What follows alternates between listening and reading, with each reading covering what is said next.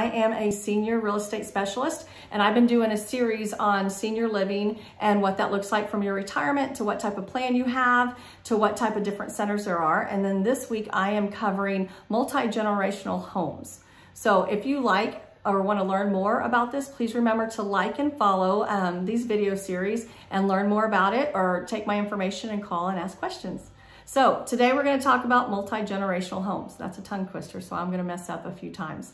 But I want to talk to you about that. Some of y'all already live like that. You have your grandparents in your house, you have your younger little ones in their house, and then sometimes you have extended family in your house that qualifies as multi-generational. So some people do this um, to save money. Some people do this because it's in their heritage is what they do.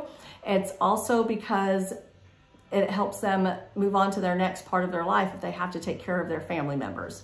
Um, I know with my parents, the way my mom was raised is you had your grandparents in the home, you had your parents in the home, and then you were in the home as well. Usually under 20 or 18 is when they say the young ones are still in the house. So that gets qualified as multi-generational. Um, there are different types of communities actually around here that are building multi-generational homes. And I'm gonna show you that in a little bit after this video. Basically, they're homes that have the primary home and in one room is another primary suite. So you have two master suites. And then the next one also has an attachment on there that all has the kitchenette, living area, some type of center. And a lot of new builds are building that now um, the way a lot of people have been doing that in America. They have, they just buy a larger home with an extra bedroom and then they have another room for the grandmother, for the family member that lives there or some parent that lives there so they can have people living in their household. They always ask for an extra bedroom and an extra bathroom. But now that we're starting to see the rise in multi-generational homes and we haven't reached our peak yet, their new builds are smart and they are building homes that accommodate that. There are also communities actually that accommodate that. You have been to many communities probably that have things for seniors as well as um, toddlers, as well as people in their 30s, 40s, and 50s that are taking care of the older generation and the younger generation. So one of the um, subdivisions that I'm in right now is called Harvest and it's Harvest of Hillwood. And this is in Argyle, Texas. And the home I'm gonna show you is actually a multi-generational home and it's a new build. So I'm excited to show you how nice the layout is for a family, um, a big family, but also an extended family. Now, if that is something that you're interested in and learning about multi-generational homes, um, it's very important to see how it pans out. Some people have mobile homes um, attached if they have yards, extra land that they can have it on. Um, others have extra apartment buildings like tiny homes that are attached. Some people have the new builds that I've been talking about. Other people have rooms with an extra bedroom or a house with extra bedrooms attached as well. So there are a lot of different ways you can move into a multi-generational situation. So this goes together with everything I've been talking about. Multi-generational is not up and coming. It's been here. It's just growing stronger. It's something that I would like to do as well. But also it has kids interact with their grandparents. They know their story. They learn about them a lot more. The grandparents can help offset the time with um, parents having to work now, whether they're working at home, whether they're going into um, an office a grandparent can actually help with that or an extended family member can. So it's everybody bonding together a little more, hopefully bonding, right?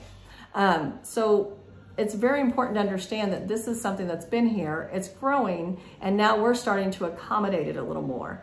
Um, I have a list of home builders that do have multi-generational homes like this one and smaller ones where it's just another entrance on the outside for them to come in and they have their own little apartment um, which is wonderful actually for teenagers too. They would love that as well.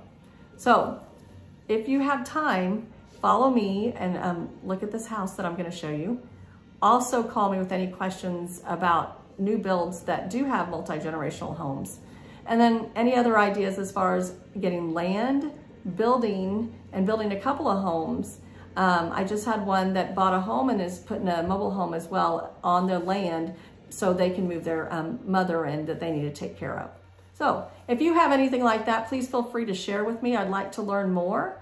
Also, what it also helps to do is when you have those um, family members in your house, you can help make your plan that we talked about that I firmly um, recommend about having a plan in place for as you age. Anybody as they age needs to have some type of directive, some type of will, and also know what their wishes are.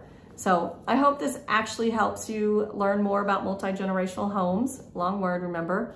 And as always, if you have questions, please ask me. Um, and then also, please remember to like and subscribe. And please remember, as always, you belong here. Thank you for watching.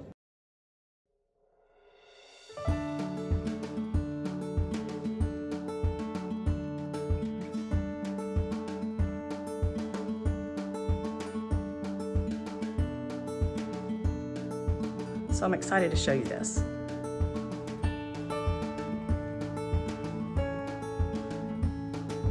Have the mudroom to the right, that's to the garage. Of course, beautiful staircase, tall ceilings. It's open but also very private. Dining, large, people have, you need a large table because this is gonna be multi-generational, just in case you have large family dinners, entertaining. This place is very open. Look at that back door. That slides all the way open. You have your half bath right there for your guest, as well as a serving place or pantry back there in the back. And then of course this kitchen. Look at the kitchen. Ample enough storage, gas range, massive island, another eating breakfast place over there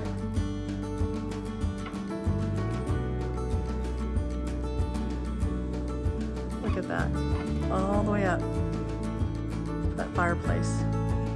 So when you close your windows at night, at least that will be open to give some moonlight in there. And this is nice, entertaining inside and out.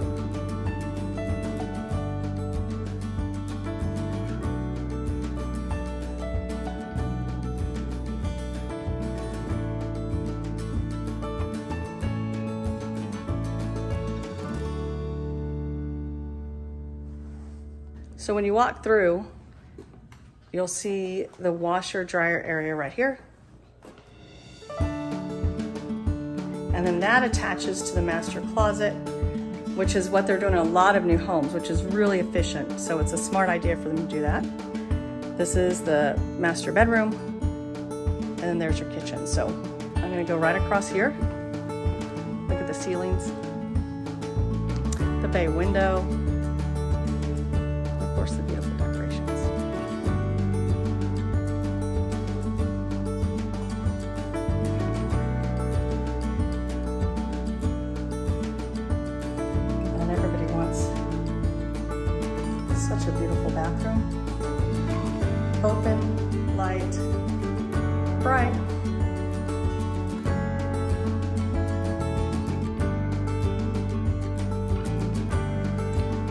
tile wood floors. And then his closet, and of course, her closet, which leads you back out into the laundry room. And then here's the thing. Downstairs, there's the extra multi-generational room that I was talking about. So you walk in, this is the door, it'll close off so they can have privacy, whoever you want here. There's your bathtub. Shower. And what's nice is you have a microwave, you have your little um, fridge, your own entrance, and then look, this is your own private area. Now, of course, my team would love this, but I'd also love this for my parents as well who might need a little bit more help getting in and out, but they're also involved with the family if they'd like to be, but they also have their privacy. Wonderful closet. And then they have their bathroom and bedroom. If they want some privacy and time, they have this little ensuite all by themselves. And they can just shut the door right here if they'd like, or they can be involved as much as they want. So this is such a smart plan. I'm excited to share it with you and I'll show you the rest of the house as well. This is upstairs. It's private, but it's open as well. So that's why this is a smart layout. It's open to downstairs, but there's not a play area right here for you to hear everything. when you walk upstairs, off to the side, here's the game room. And then you can have your media room.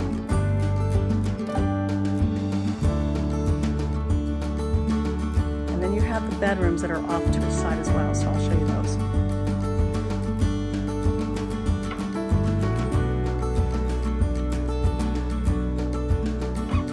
That's one of the bedrooms. All of these rooms have their own privacy, but you can be interactive if you want, so I love that.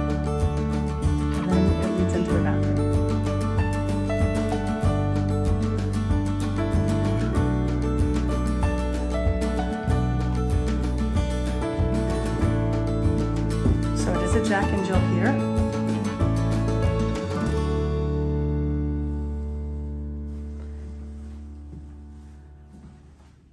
But look, it goes out to the game room and it doesn't go into the other bedroom. So this bedroom is also where they have their own time, privacy, and of course,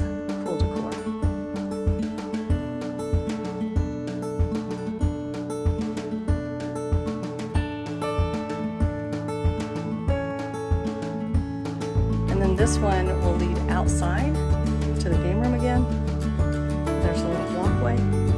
And you see the cute little window seats. There are buildings still next door, so it might be a little loud. I apologize.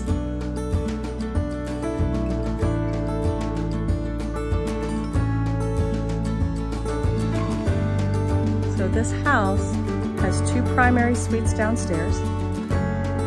The multi-generational section of it has its own living area plus bathroom. Then you also come upstairs and you have another set of two bedrooms, game room and media room. Or you can go hang out in the other suite downstairs. And also in the primary suite or the master suite downstairs, you have the soaking tub, you have the shower, you have a nice generous space out there for everybody to hang out. And then you also have this as well that leads into that kitchen with that massive island.